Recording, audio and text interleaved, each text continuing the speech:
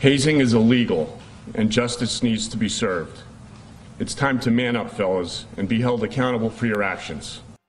New charges tonight in the death of a Penn State fraternity pledge. Investigators say they've recovered security camera video that had previously been deleted, and that footage is revealing shocking new details about what happened the night Timothy Piazza died. His dad going so far as to call it a cover up. A total of 17 fraternity members have been indicted, including 12 who are now facing charges for the very first time.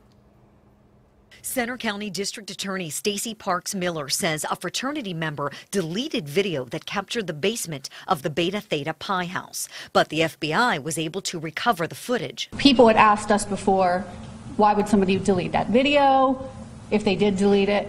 And we said that's what we wanted to know. Well, now we know because it contained criminal conduct. According to the DA, the video reveals that Timothy Piazza consumed 18 drinks over the span of an hour and 22 minutes. And Mr. Piazza, in the basement video, and even as far as going back to the gauntlet, never once obtained any of those drinks for himself. Brothers were coming up to him and giving him those drinks. Investigators say Piazza fell down the basement stairs around 11 p.m. the night of the party, but it wasn't until 12 hours later that Piazza, unresponsive, was taken to the hospital.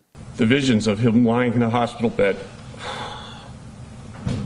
battered and bruised and on life support, looking as if he got hit by a tractor trailer, make no sense. Based on the new evidence, five fraternity members now face new charges of involuntary manslaughter. Piazza's father today calling it a cover up. They claimed, We don't know what else happened other than what was seen in the upstairs video, and we don't know what happened in the basement. Guess what, guys? Now we know. 11 of the 17 fraternity brothers indicted today are facing hazing charges.